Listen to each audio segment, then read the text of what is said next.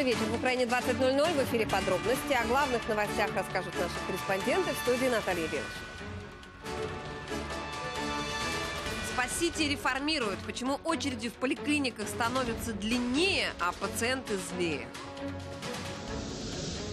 Давайте жить дружно. В НАТО хотят, чтобы Украина помирилась с Венгрией. Что предлагают? Вам письмо, от кого невестка американского президента получила конверт с белым порошком. В ответе за реформу Минздраву нужно усилить контроль за выполнением новых норм в регионах. Об этом заявил премьер-министр Владимир Гройсман. Глава правительства обсудил с представителями профильного министерства закупку лекарств и вакцин. Вспомнили и о реализации госпрограммы «Доступные лекарства». По словам, по словам чиновника, в некоторых регионах она практически не работает. Премьер потребовал от Минздрава тщательнее следить за ходом медреформы и продуктивнее сотрудничать с местными властями знаєте, що запитати? З огляду на те, що ми зараз входимо в процес е, зміни самої системи охорони здоров'я, е, кожен день він буде дуже чутливим. Тому я би хотів, щоб максимально ефективно і якісно працювала команда Міністерства охорони здоров'я. Люди мають отримати нормальне фінансування.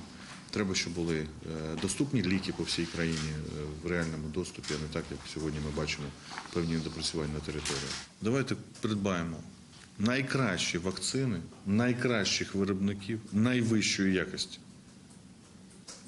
І вийдемо і скажемо, ми даємо гарантію. Це найкращі виробники найкращих е, значить, країнах і так далі. При нынешних темпах вакцинации победить корь в Украине удастся только через пять лет, так заявляют в Минздраве. Ситуация остается напряженной. За минувшую неделю заразились почти 800 человек. В лидерах Ивано-Франковская, Одесская и Закарпатская области. Всего с начала года заболели более 4 тысяч человек, умерли трое детей и двое взрослых. Впрочем, есть и обнадеживающие цифры. Вакцинированы уже 75% малышей, которые в свое время пропустили прививку. И эту динамику нужно сохранять, настаивают в ведомстве. Якщо ми продовжимо вакцинуватись в таких темпах, як вакцинуємося впродовж е, кінця другої половини 2017 року і початку 2018 року, хоча б впродовж е, найближчих п'яти років, ми хворобу взагалі виженемо з території України. Якщо ми перестанемо вакцинуватись, наступний підйом захворюваності на кір буде в нас через 5 років. Це в 2000 2022 році. Медреформа в действии. Новая система регистрации пациентов в поликлиниках уже заработала. но Нововведение должно было сократить время оформления людей в регистратуре. А вот что вышло на деле, расскажут мои коллеги. В Ивано-Франковске все поликлиники с электронной системой регистрации пациентов. Работает она уже 4 месяца, вот только очередей, как было обещано, меньше не стало. Я колись чекала, чекала, ты упала а потім мене поставили на лавку та й дали укол. Як людей є багато, та й треба чекати, щоб вона записала. Мені не дуже така дуже сильна різниця. В соцсетях, пишут пользователи, очереди не только не уменьшились, наоборот. Если раньше получить талончик в регистратуре можно было за 2-3 минуты, то теперь на это уходит не менее 15. Толпы людей возле регистратуры в этой поликлинике постоянно. Прямо по коридору, 201 кабинет. Це є приймальна головного лікаря, і тоді повертаєтеся до нас. Очереди действительно есть, признаются в поликлинике, но уверяют, это временно. Дескать, все изменится, когда база пациентов будет окончательно создана. На это уйдет еще несколько месяцев, ведь из 40 тысяч жителей пока зарегистрировали только 7. Під віконечком черга велика в даний момент, тому що люди починають реєструватися ще. Черги зменшаться на людину, яка вже зареєстрована, ну 3-4 хвилини. Главврач поликлиники уверяет, несмотря на все неудобства, люди системой довольны. Я робила моніторинг і розмовляла з нашими пацієнтами. І ви знаєте, я скажу, вони задоволені від того, що вони з розумієте, що він прийде на першу годину, допустимо, і він попаде до лікаря. Розумієте, і він не чекає в черзі.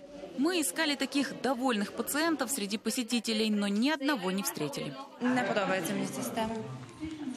Ну тому що е, різні години. Чотири дні я вже проходжу медкомісію. Різні лікарі в різний день. Мені здається, що легше було раніше прийти. Михаил сегодня записался к нескольким врачам, но попасть к ним сможет только на следующей неделе. Причем к поликлинике ему снова придется провести целый день. Прием у одного врача утром, а у другого вечером. Надзвичайно великі ускладнення та реформа 2 і їм, і нам. Треба брати хіба розкладушку сюди і лежати. Треба стояти тут в черзі, зареєструватись. Я вже другий тиждень ходжу і ще на тиждень маю. Знаєте, через ту реформу. От, е, Раніше я в той же день міг попасти до лікаря. Но медики неумолимо считают, что проблемы с электронной системой незначительные, и людям к ним придется попросту привыкнуть. Анастасия Старовой, Жанна Дучак, Зиновий Автонас. Подробности телеканал Интер, Ивано-Франковск. Украина на 72-м месте из 80 стран для комфортной жизни пенсионеров. Рейтинг составило американское издание US News. По соседству с нами Ангола и Алжир. Россия в списке занимает предпоследнюю строчку, уступая только Ирану. А вот Новая Зеландия уже второй год подряд является лучшей страной в мире для жизни на пенсии. Обложить налогами миллионеров, чтобы повысить пенсии ветеранам-силовикам. Такой выход предложил нардеп Каплин. Он уверен, что по-другому пересчитать выплаты не получится. Для этого он предлагает снять ограничения для единого социального взноса. То есть чем выше официальная зарплата, тем больше взнос.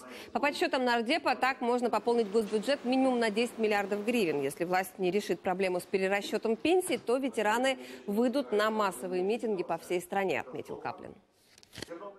Ми маємо законопроекти, які дозволять вам знайти ці кілька мільярдів гривень для того, щоб ви, дорогі наші, змогли профінансувати перерахунок пенсій. У нас є тисячі директорів підприємств, керівників центральних органів влади, заступників міністрів, міністрів, які отримують зарплатню на рівні 400 тисяч гривень.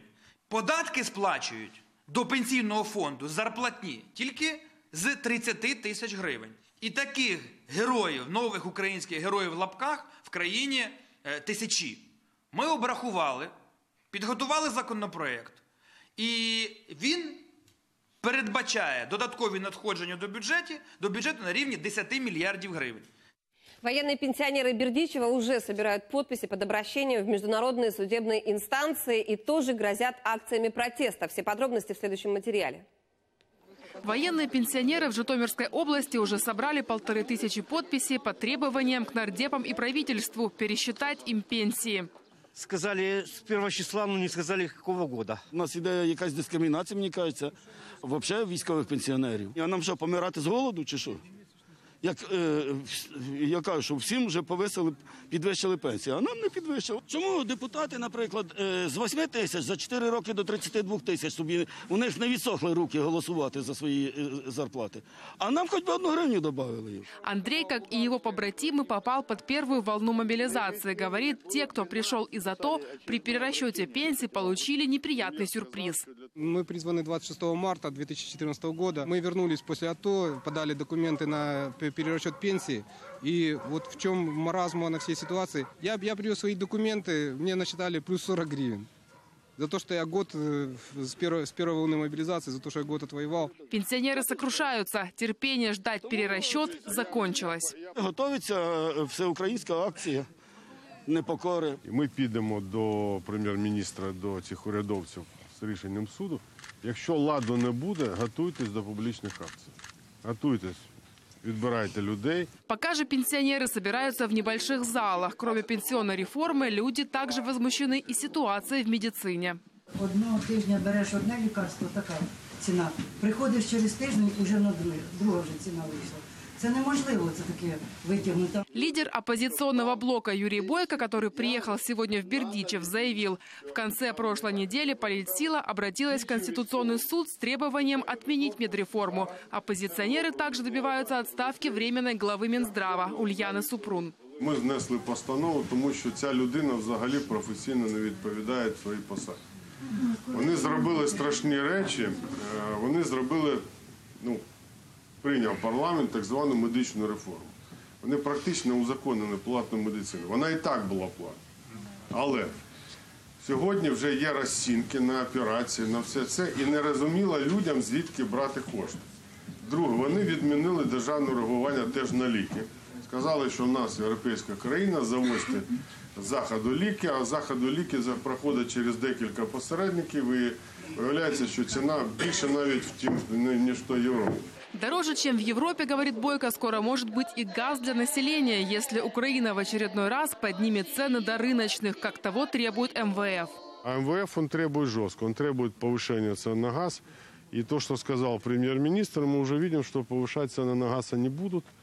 Э, Это неправильно, это антинародно, это вообще противоречит всему здравому смыслу. То, что требует МВФ до уровня импортного газа, это вообще неприемлемо. Какое отношение имеет наш газ, который добывается у нас, к тому, что мы покупаем э, из-за рубежа?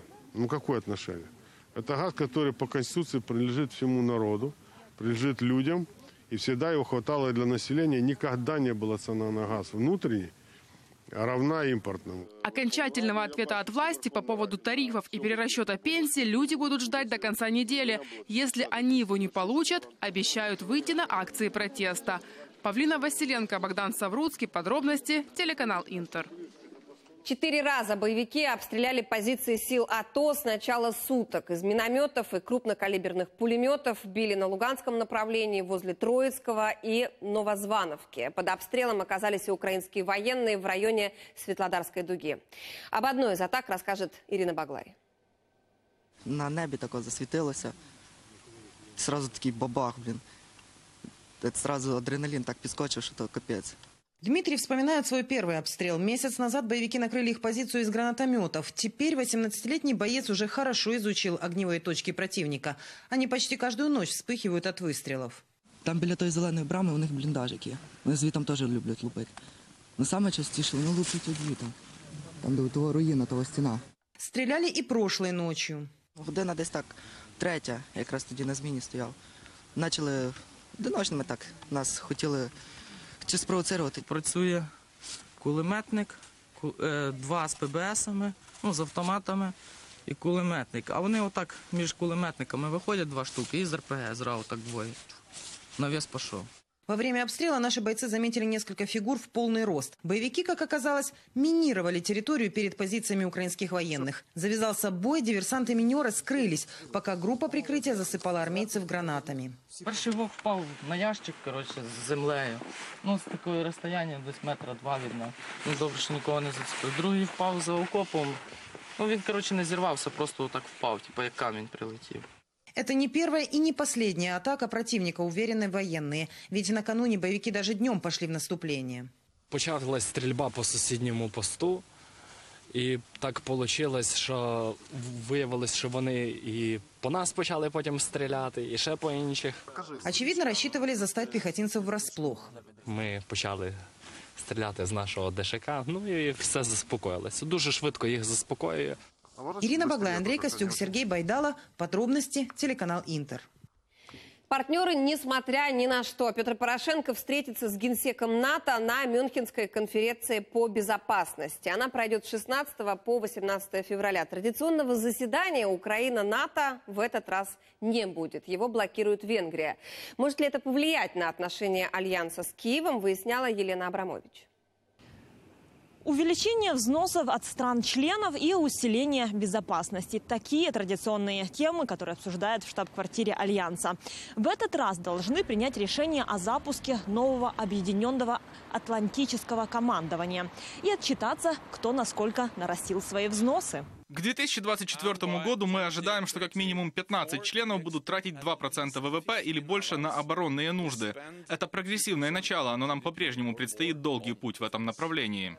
Обычно на полях встречи министров обороны происходило и заседание комиссии Украина-НАТО. Но в этот раз украинский министр обороны Степан Полторак не приедет, потому что заседания нет в программе.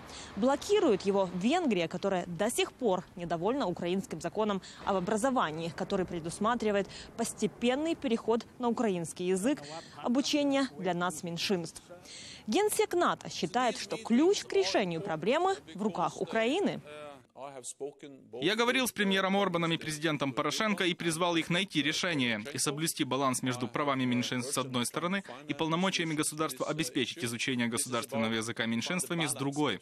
Сейчас есть рекомендации Венецианской комиссии, и я призываю Украину присмотреться к ним, потому что они определяют путь, как решить вопрос между Украиной и Венгрией. Но это недоразумение между двумя государствами не станет помехой для сотрудничества между НАТО и Киевом, заверил Генсек. Техническая, консультативная и финансовая помощь от стран НАТО не изменится. Из Брюсселя Елена Абрамович, Иван Ермаков. Подробности. Европейское бюро телеканала «Интер». Венгрия готова прекратить блокаду сотрудничества Украины с НАТО, но при одном условии. Его назвал министр иностранных дел этой страны Петр Сиятра. Будапешт требует, чтобы Украина не вводила в действие новый закон об образовании, пока не договорится с национальными меньшинствами. При этом Венгрии нужны юридические гарантии, специальный указ о приостановлении реализации этого закона. Все страны, которые хотят сблизиться с НАТО, должны предоставлять национальные годичные планы. А украинский план включает вопрос о правах меньшинств. Мы отказываемся принимать тот факт, что по каким-то геополитическим причинам Украина собирается нарушить взятые на себя обязательства относительно стран или союзов, с которыми желает сблизиться. Если Украина серьезно планирует интеграцию с ЕС и НАТО, то должна соответствовать их ожиданиям и соблюдать их правила. Переполох в семействе Трампа. Сыну президента прислали конверт с белым порошком, похожий на тот, в котором политикам когда-то рассылали споры сибирской язвы. Все подробности знает Дмитрий Анопченко. У дома Трампа-младшего, сына президента, которому он передал контроль над всеми своими активами, накануне весь день дежурила полиция. Перепугались не на шутку, ведь им в квартиру среди прочей корреспонденции прислали пакет с белым порошком. Конверт открыла невестка президента Ванесса, и содержимое высыпалось ей на руки. В 2001-м такие послания получали конгрессмены и журналисты от сторонников Бен Ладена. 17 человек тогда пострадали, и пятеро погибли. Было принято решение о госпитализации. Ванессу Трамп на скорой в больницу увезли. Врачи говорят, женщина почувствовала недомогание и даже тошноту, набрала 911, но впоследствии выяснится, скорее всего, просто перенервничала, потому что эксперты не обнаружили в конверте никаких опасных веществ. Но семья Трампа восприняла этот случай весьма серьезно. Дональд-младший живет обычной жизнью, отказавшись от положенной ему по закону охраны, и его личную корреспонденцию вовсе не офицер Service, а члены семьи принимают. И окажись в послании яд или взрывчатка, все было бы куда трагичнее. В итоге задумались теперь о том, чтобы частных секьюрити нанять. А происходящее считают происками тех, кто ненавидит главу государства. Дональд Трамп-младший выступил с официальным заявлением. Дескать, это отвратительно, когда противники демонстрируют свои политические взгляды таким вот образом. Люди, близкие к его семье, признаются, что до того момента, пока не стало известно, что в конверте только мел, он действительно очень сильно боялся за здоровье жены и детей. И если посмотреть сейчас на реакцию соцсетей и на реакцию американских медиа, то там нет злорадства, там в основном сочувствие. Пол Америки, те, кто были за Клинтон, Трампов по-прежнему недолюбливают. Но и терроризировать всех, кто просто носит эту фамилию, американцы считают нечестным. Поэтому выходка не достигла результата. И скорее в плюс президенту и его семье сработала. А значит, эффект от новых конвертов с белым порошком оказался практически нулевым. Из Соединенных Штатов Дмитрий Анопченко, Юрий Романюк, Американское бюро телеканала «Интер». Вы смотрите подробности, и вот что у нас во второй части. Круговая оборона. Военные летчики вступили в противостояние с Одесской мэрией. Кто кого? Хуже, чем думали, секс-скандал вокруг британских благотворителей обрастает шокирующими подробностями. Сошел с дистанции. Почему японский спортсмен с позором покидает Олимпиаду в Пхенчхане? В Киеве сегодня простились с украинским философом и ученым Мирославом Поповичем. Панихиду отслужили в Национальной академии наук. Кем был этот выдающийся человек, расскажет Любовь Кукла. Конференц-зал Академии наук, тонны цветов, сотни людей. Все пришли проводить в последний путь известного ученого, философа Мирослава Поповича. Це дуже талановита і світла людина, які так потрібні нашій країні. К нему за советом шли едва ли не со всей Украины, в будущее которой он так верил. Для мене сьогодні це не просто втрата великого українця, великого державного діяча. я можу сказати, що певною мірою пан Мирослав був моїм вчителем. Сьогодні дуже важко. Насправді дуже шкода, що в цей історичний період виходять на той світ е, люди, які є насправді моральними авторитетами, е, з великої літери державними діячами, люди, які все своє життя мріяли про успішну е, Україну. Мечтал, более того, действовал. Ученый был участником инициативной группы 1 декабря. Вместе с Гузером, Дюбой и Брюховецким боролись за свободную Украину. Воевали на интеллектуальном фронте, чем вдохновляли молодое поколение. Це, напевно, один з тих, е, на кого би хотілося рівнятися, і проживши до старості, я сподіваюся, залишитися таким же відкритим в своїх думках, в своїх оцінках, в своїх поглядах. Работал философ, говорят друзья, не покладая рук, всего себя посвятил работе и Украине, а ему в ответ посвящали стихи. Та він, він, по-моєму, постійно працював, я його не пам'ятаю, щоб він відпочивав коли. Це була людина дивовижної працездатності, яку я вже знав більше як 50 років. І з того часу, скільки його пам'ятаю, бо ми тоді разом я написав цикл про пізнання і присвятив йому вірш перший теорія початку. От оце все що з філософією було. Добрый и светлый мудрец с белой бородой жил на полную, не теряя веры, даже на больничной койке. І Попович, який був весь обмотаний різними трубками, е, підключений до апаратів і в кисневій масці, він колядував разом з нами. Ми співали Радуйся, земле. Похоронили ученого сегодня на Байковом кладбище. Любовь Кукла и Даниэль Косаковский. Подробности. Телеканал Интер. Отказалась от украинского паспорта. Эка Сгуладзе, которая с 2014 по 2016 год была первым заместителем главы МВД, возобновила гражданство Грузии. Сколько еще легионеров-реформаторов, побывавших у власти, уже не являются гражданами Украины, и кто из политиков с двойным подданством, выжив все возможные бонусы из украинского гражданства, в итоге избавится от него. Подробности в материале. Экс-заместитель министра МВД Казгуладзе отказалась от украинского паспорта, восстановив гражданство Грузии. До этого еще одна участница грузинского десанта, экс-глава национальной полиции Хатия Деканаидзе, также отказалась от украинского гражданства, восстановив грузинское подданство еще летом прошлого года. Впрочем, в Украине хватает действующих высокопоставленных чиновников без украинского гражданства вовсе или имеющих двойное или даже тройное гражданство. Так до сих пор неизвестно, подтвердила ли украинское гражданство и о министра здравоохранения Ульяна Супрун. Глава Укравтодора Славомир Новак получил украинский паспорт, не отказавшись от гражданства Польши. Без украинского гражданства еще один поляк Войцех Балчун возглавлял крупнейшую транспортную госкомпанию «Укрзалезницу». Также засветились в скандалах с двойным гражданством и украинские парламентарии. Так в свое время журналист Василий Кручак опубликовал документы, указывающие, что у нардепа Вадима Рабиновича есть израильское гражданство. Сейчас проверка этих данных занимается НАБУ. Если детективы антикоррупционного бюро подтвердят наличие израильского паспорта, тогда, возможно, Рабиновича ждет участь экс-нардепа Артеменко. И он может оказаться, нет, не в Канаде, конечно, а в Израиле. Там он обеспечил себе вполне шикарную пенсию. А вот если наши правоохранители отследят, как этот народный депутат депутат, якобы с его же слов невъездной в Россию, оказался во Владимирском Централе на опрометчиво распиаренной им же встрече с заключенным украинцем Карпюком, то ему светит не отъезд, а третий срок. Два в свое время он уже отсидел. И в психиатрической клинике тоже был, но всему свое время.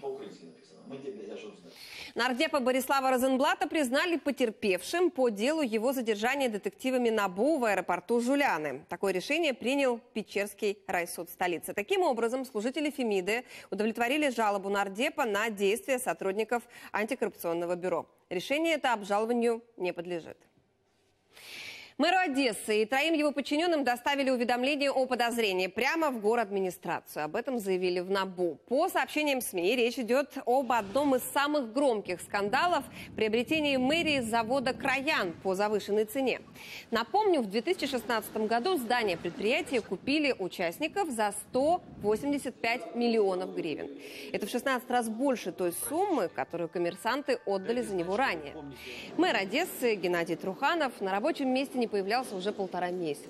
То он был в отпуске, то в командировке, и сейчас находится в Чехии официально с рабочим визитом. А пока в городе разгорается битва за взлетку, против одесской мэрии выступила армия. Командование воздушных сил заявляет, что чиновники пытаются захватить землю, на которой находится военный аэродром. Участник присмотрели для застройки микрорайона. В конфликте разбирался Андрей Анастасов. Почти 300 гектаров на окраине Одессы. Коммерсанты с разрешения мэрии планируют построить тут крупный микрорайон. Около 100 многоэтажек, торговые комплексы, гостиницы. Но есть одно «но». Минобороны утверждает, это земля военных. Более того, здесь расположен военный аэродром «Школьный» с самолетами и вертолетами, которые несут боевое дежурство. В воздушном командовании говорят, чиновники их даже не предупредили о своих планах. Тобто там стоять бойові літаки, винищувачі, які оснащені е, керованими ракетами та е, повністю в боєкомплектом. Тому е, справа йде не більше, не менше ніж про загрозу державній безпеці України.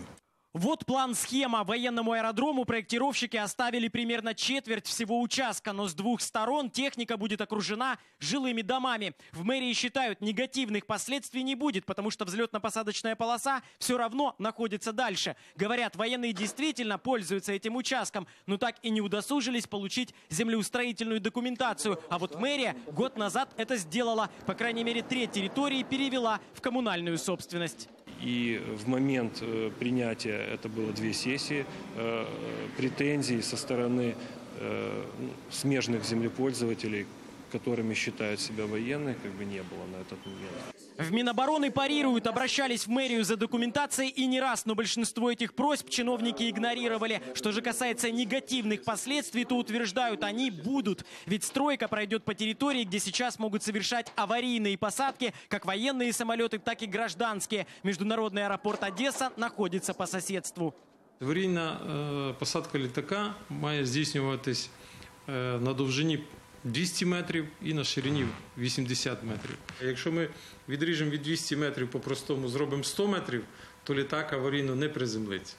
Схему будущего микрорайона мы показали эксперту в сфере авиации. Он обратил внимание на то, что жилые дома будут довольно близко расположены от взлетно-посадочной полосы. Говорит, по международным нормам с точки зрения безопасности такое допустимо. А вот как жильцы будут справляться с шумом – большой вопрос. Вот эта вот линия, она практически упритык с летным полем. Конечно же, если это будут фанаты авиации, которым нравится видеть самолет, как споттеры, смотреть с балкона и с этим свыкнуться, то, конечно, и никаких вопросов не будет. Со своими претензиями военные уже обратились в Одесскую мэрию, считают действия чиновников незаконными и намерены судиться, если у них попытаются отобрать территорию. Напомню, минувшей осенью у армейцев уже был конфликт с частным застройщиком, который демонтировал забор воинской части. Тогда дело едва не дошло до перестрелки. Андрей Анастасов, Игорь Миханошин. Подробности телеканал Интер. Одесса. Мобильные коллекторы. Выбивать долги по алиментам теперь будут специальные группы ликвидации. Пока что они работают только в Киевской и Запорожской областях. Об этом сообщила пресс-служба Минюста. По данным ведомства, группы контролируют работу госисполнителей. Проверяют, как выполняются решения судов по взысканию алиментов с должников. До конца февраля проверки пройдут во всех регионах Украины. Очередное пьяное ДТП. В Буче под Киевом местные жители задержали водителя БМВ. Мужчина повредил несколько припаркованных во, Львове, э, во, во дворе машин и даже снес пару деревьев. Позднее выяснилось, что водитель был за рулем в состоянии алкогольного опьянения, но от экспертизы он отказался. Местные жители утверждают, что нарушитель возглавляет один из военкоматов в Киевской области. В Ірпінському регіоні водій е, не впорався з керуванням Спочатку вдарився в дерево, потім машину відкинули, і він протаранив іще два автомобіля. Цього керманича затримали місцеві мешканці, викликали поліцію, і коли приїхав наряд групи реагування, то на керманича склали протоколи по порушенням за скоєння дорожньо-транспортної пригоди, а також протокол за те, що він перебував у нетверезому стані. Героиня для палестинцев, преступница для израильтян. На западном берегу реки Иордан начался судебный процесс над 16-летней Ахет Тамиме. Что произошло в декабре минувшего года и чем юная палестинка может заплатить за свою выходку, подробнее в материале. Инцидент в арабской деревне получил широкую огласку в сети. Рыжеволосая юная девушка толкает военного и отвешивает ему солидную пощечину. Видео транслировала онлайн в Фейсбуке мать нападавшей. Через несколько дней обеих арестовали, а сегодня в военном суде начался процесс по их делу за закрытыми дверями. Суд решил закрыть двери на процессе Ахед Тамими, потому что боится, что люди придут сюда и увидят, что происходит. Систематическое нарушение прав палестинских детей. На ее примере прекрасно видно, как именно эти права нарушаются. Семейство Тамими из тех, кто регулярно протестует против оккупации западного берега. Ахед с детства принимала участие в демонстрациях, активно критиковала Израиль в сети и на телевидении. Обвинение заявляет, что девушка специально провоцировала военных, чтобы снять на видео их реакцию и выложить в сеть. Сама Ахед утверждает, что напала на солдат, потому что те выбивали окна в их доме и бросали газовые гранаты. Нам нужно внимание прессы. Необходимо, чтобы присутствующие видели, что делают Сахед. Мы не доверяем этому суду, как и этой системе, и боимся, что Сахед и ее матерью что-нибудь случится. За выходку Ахет Тамими угрожает недетское наказание. В обвинении 12 пунктов, включая нападение с отягчающими обстоятельствами. Если девушку признают виновной, она может на долгие годы попасть за решетку. Ее матери грозит до 10 лет в тюрьме. Следующее заседание по делу состоится в марте. До этого времени Ахет будет находиться под стражей. Ирина Иванова. Подробности телеканал Интер. Двое силовиков попались на взятки в Винницкой области. Это начальник одного из отделений полиции, первый зам руководителя прокуратуры. Они выбивали деньги из местных жителей за решение вопроса о закрытии уголовных производств. Деньги забирали посредники. Этим занимались два частных предпринимателя. Во время получения очередного вознаграждения трех тысяч долларов всех участников задержали. Эту сумму подозреваемые требовали у коммерсанта, который обвинялся в подделке служебных документов. Взрыв в Новых Петровцах под Киевом. Местный житель бросил гранату F1 в, окно частного дома. Осколки разлетелись более чем на 200 метров. От ударной волны пострадали три человека. Сейчас они в реанимации. Сам подрывник получил осколочное ранение и вскоре был задержан. Уголовное производство открыто не только по статье покушения на убийство, но и относительно незаконного обращения с оружием. Стрельбой закончился еще один конфликт в столице. По данным правоохранителей, утром на улице Саксаганского во время ссоры мужчина сделал несколько выстрелов из пистолета. Злоумышленника на месте происшествия задержали патрульные. Им оказался 26-летний киевлянин. Пострадавший сейчас находится в больнице. Его жизни ничего не угрожает, а злоумышленнику грозит до 7 лет тюрьмы. И необычный нарушитель сегодня парализовал работу пункта пропуска Николаевка на украинско-российской границе. Со стороны России перебежал енот. Вел он себя агрессивно, рычал, бросался на людей, так рассказывают пограничники. Все попытки военных выгнать животное оказались тщетными. В погранслужбе предположили, что зверек страдает бешенством и вызвали санэпидемстанцию. Там решили, что безопаснее всего будет избавиться от животного. Тушку направили на экспертизу, так что был ли енот болен бешенством, или нет, нам пока неизвестно. Проституция, порнография и запугивание. И все это под прикрытием благотворительной организации. Светлана Чернецкая с подробностями скандала вокруг международной компании «Оксфэм». Таких благотворительных магазинов в Британии сотни. Главная цель Оксфэм – бороться с бедностью, поэтому здесь можно купить подержанные вещи по смешным ценам. Но оказывается, даже в таких магазинах, куда обращаются за помощью самые уязвимые слои населения, процветало сексуальное насилие и злоупотребление. Задокументировано несколько случаев, когда сексуальному надругательству подвергались дети, которые устраивались волонтерами в такие магазины. Работает Оксфэм и за рубежом. Организация направляет своих людей в страны, которые нуждаются в гуманитарной помощи. Во время таких командировок тоже были жалобы на поведение сотрудников. Бывало, что за день я получала по три жалобы, в частности от женщин, которых принуждали к сексу в обмен на гуманитарную помощь, и на отдельных сотрудников, которые позволяли себе распускать руки на рабочем месте.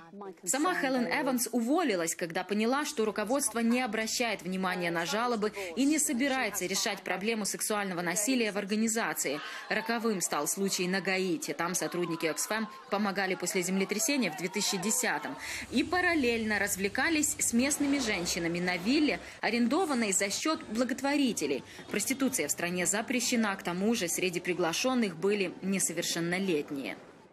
То, что произошло на Гаити, это обман доверия наших сотрудников, наших доноров, это предательство тысяч добросовестных сотрудников Оксфам, которые рискуют собой, чтобы выполнить свою миссию – спасать жизни людей. Мне жаль, что так произошло, но больше подобное не повторится. Мы ужесточили правила.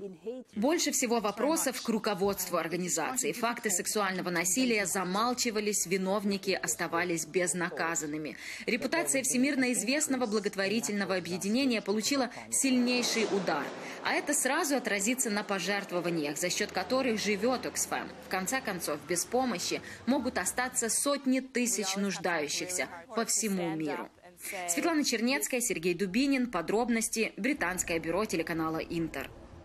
Первый допинговый скандал на зимней Олимпиаде. Запрещенный препарат выявили в анализах японского атлета Кея Сайто. Об этом заявили в пресс-службе спортивного арбитражного суда. Спортсмена временно отстранили от участия в соревнованиях. Сам Кей Сайто все обвинения отрицает и обещает доказать свою непричастность к употреблению допинга. Вещество, о котором идет речь, это мочегонное средство, которое используется для профилактики таких заболеваний, как глаукома, эпилепсия, а также апноэ. Кроме того, спортсмены могут употреблять этот препарат для похудения, а также для стимуляции роста мышц.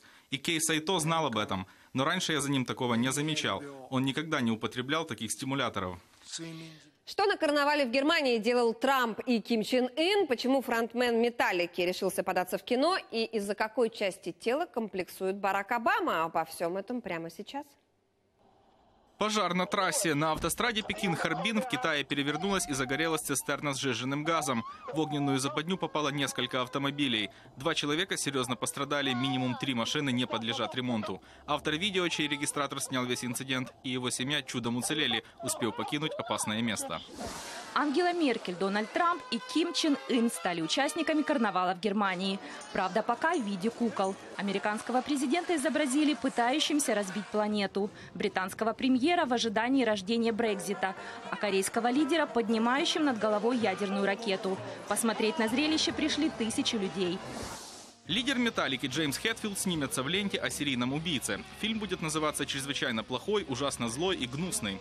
В нем рокер исполнит роль полицейского. Самого же маньяка сыграет актер Зак Эфрон. Картина основана на реальной истории о серийном убийце, который был арестован в 1975 году. Для Хэтфилда это первая роль в большом кино. В Вашингтоне представили официальные портреты бывшего президента США Барака Обамы и его супруги Мишель. Художников они выбирали сами. Барак Обама признался, что попросил нарисовать ему уши меньше, чем в действительности. Картины станут частью экспозиции, посвященной американским президентам. Впечатляющий трюк за пределами олимпийских площадок в Пхеньяне показал швейцарский лыжник Фабиан Бош.